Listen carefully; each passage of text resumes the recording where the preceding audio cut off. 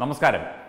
ഈ മുഖ്യമന്ത്രി പിണറായി വിജയൻ ഉന്നത വിദ്യാഭ്യാസ മന്ത്രി കെ ടി ജലീലിനെ ഇങ്ങനെ പിന്തുണയ്ക്കുന്നത് എന്തിനാണെന്നുള്ള കാര്യം ആർക്കും മനസ്സിലാകുന്നില്ല.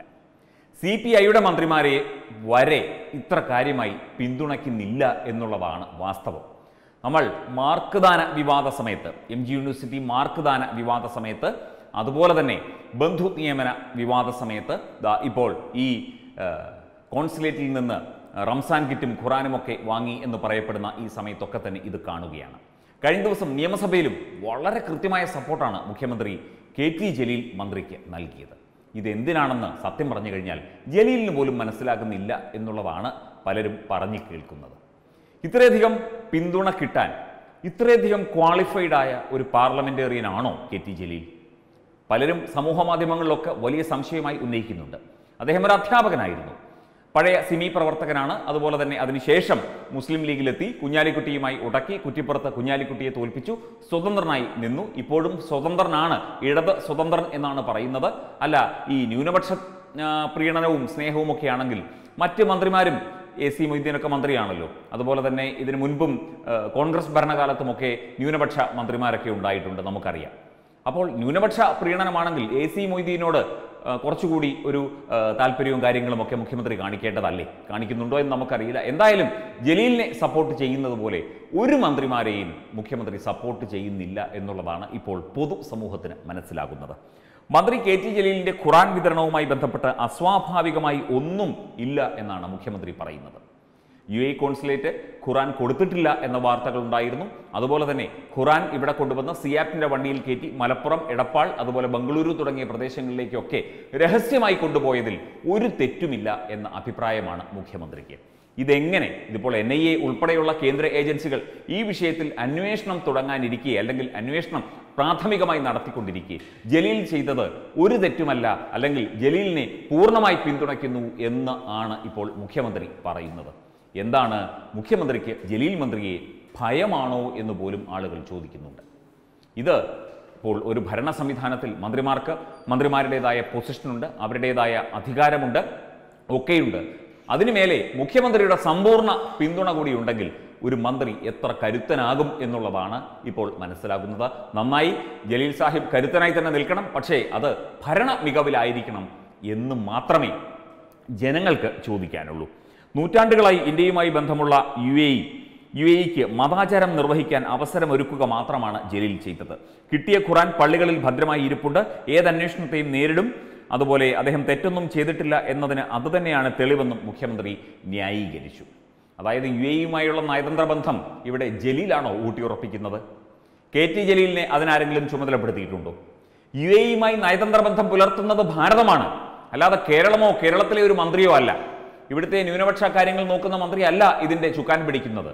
അതിന് വിദേശകാര്യ മന്ത്രാലയവുമായി പ്രത്യേക രീതിയിലുള്ള അനുമതി വാങ്ങിയാണ് ഈ ബന്ധങ്ങളൊക്കെ സ്ഥാപിക്കേണ്ടത്.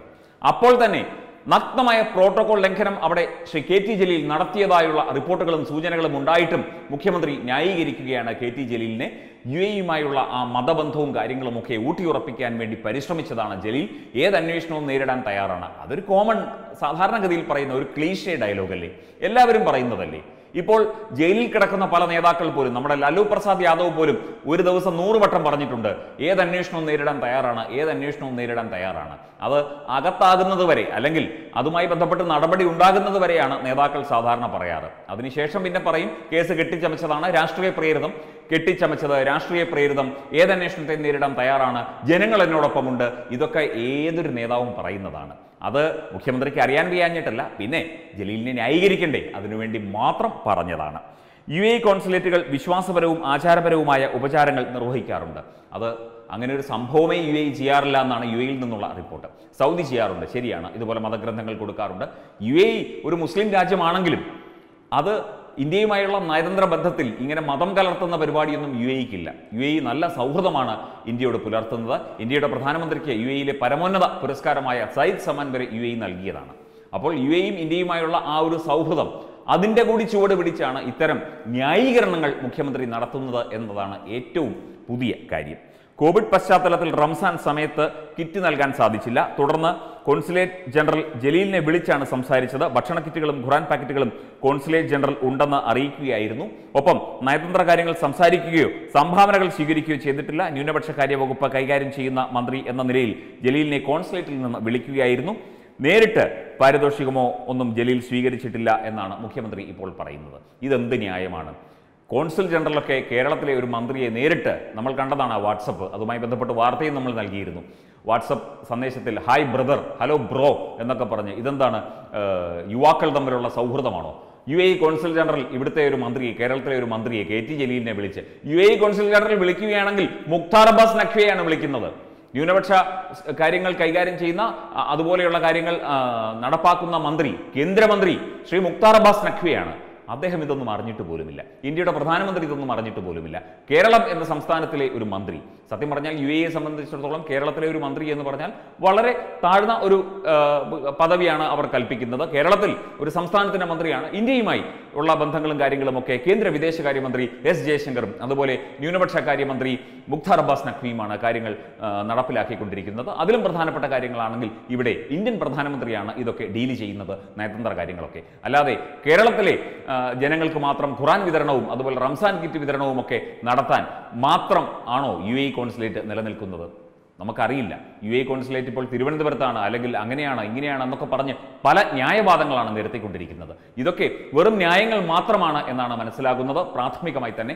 എന്തൊക്കെയായാലും ജലീലിനെ തുടക്കം മുതൽ തന്നെ നമുക്കറിയാം ഈ മന്ത്രിസ്ഥാനം ആദ്യം ഈ പൊതുവിദ്യാഭ്യാസം വിദ്യാഭ്യാസ മന്ത്രി എന്ന് പറയുന്നത് പ്രൊഫസർ സി രവീന്ദ്രനാഥ് സാറായിരുന്നു. അദ്ദേഹത്തിന് മൊത്തം വിദ്യാഭ്യാസത്തിന്റെ ചുമതലയാണ് ആദ്യം നൽകിയത്. അദ്ദേഹം ഒരു അധ്യാപകനാണ് പരിണിതപ്രജ്ഞനാണ് കാര്യങ്ങൾ മാത്രം സംസാരിക്കുന്ന വ്യക്തിയാണ്. ഇനി രാഷ്ട്രീയ എതിർ ചേരിയിൽപ്പെട്ടവർക്ക് പോലും ബഹുമാന്യനായ വ്യക്തിയാണ്. നമ്മുടെയൊക്കെ വളരെ അടുത്ത സുഹൃത്തും കൂടിയാണ് മാഷ് രവീന്ദ്രൻ മാഷ്.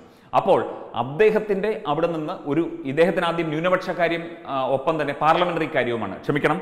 തദ്ദേശ സ്വയംഭരണവുമാണ് ജലീലിന് ആദ്യം നൽകിയിരുന്നത്. അപ്പോൾ ഉന്നത വിദ്യാഭ്യാസ മന്ത്രിസ്ഥാനം ഇദ്ദേഹത്തിന് നൽകിയത് തന്നെ അന്ന് ഈ പാർട്ടിക്കാർക്കിടയിലും സി പി എംകാർക്കിടയിലും ഇടതുപക്ഷ ഇടതുപക്ഷത്തിലെ പൊതുവെ വല്ല മുറുമുറുപ്പുണ്ടായിരുന്നു. അത് എന്തൊക്കെയോ അജണ്ടകൾ വെച്ചുകൊണ്ടാണ് ഈ വിദ്യാഭ്യാസം ഉന്നത വിദ്യാഭ്യാസം എന്ന് പറഞ്ഞ് ജലീലിന് മന്ത്രിസ്ഥാനം നൽകിയത്. ജലീലിനെ സന്തോഷിപ്പിക്കാനും ജലീലിന് ഈ മാർക്ക്ദാനവുമായി ഒക്കെ ചേർത്ത് വെക്കുമ്പോൾ അതൊക്കെ സത്യമാണെന്ന് തോന്നിപ്പോവുകയാണ്. അന്വേഷണവും മറ്റു കാര്യങ്ങളും ഒക്കെ നടക്കുന്നുണ്ട്. എന്നാൽ പോലും ഇത്തരത്തിൽ ഏത് രീതിയിലും ജലീൽ കെ ടി ജലീൽ എന്ന മന്ത്രിയെ പ്രീണിപ്പിക്കാനും അദ്ദേഹത്തിന് സ്തുതി പാടാനും അദ്ദേഹത്തിന് ഒപ്പം നിൽക്കാനും സകലമാന പിന്തുണയും സ്വന്തം പാർട്ടിയും പാർട്ടിക്കാരെയും മുന്നണിയും ഒക്കെ മറന്ന് എല്ലാവിധ പിന്തുണയും ജലീലിന് കൊടുക്കാനുമാണ് മുഖ്യമന്ത്രി തുടക്കം മുതൽ തന്നെ ശ്രമിച്ചത് എന്നാണ് പറയപ്പെടുന്നത്.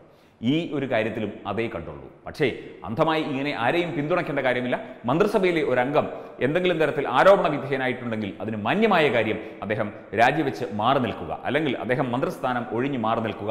അന്വേഷണത്തിന് ശേഷം അദ്ദേഹം തെറ്റൊന്നും ചെയ്തിട്ടില്ലെങ്കിൽ തിരിച്ചു വരിക. അതാണ് ഒരു ജനാധിപത്യ മര്യാദ ഒരു പാർലമെന്ററി മര്യാദ.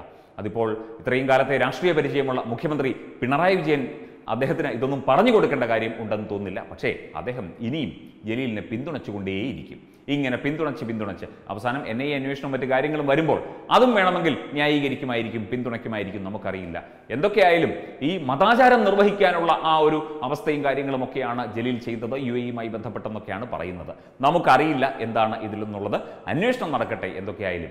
അതുവരെയെങ്കിലും ഈ കാര്യങ്ങൾ ഒന്ന് ഇങ്ങനെ എടുത്തിട്ട് ഇപ്പം മാധ്യമങ്ങൾ ചോദിക്കുന്നതിന് മറുപടി പറയാനൊക്കെ ബുദ്ധിമുട്ട് കാര്യങ്ങളുമൊക്കെ ഉണ്ടാകും. അതൊക്കെ സ്വാഭാവികം തന്നെ.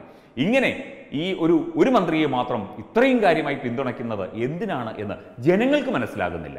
സാധാരണക്കാരായ ജനങ്ങൾക്ക് മനസ്സിലാകുന്നില്ല. അത്രയേ ഉള്ളൂ. വെബ് ഡെസ്ക് തത്വമൈ ന്യൂസ്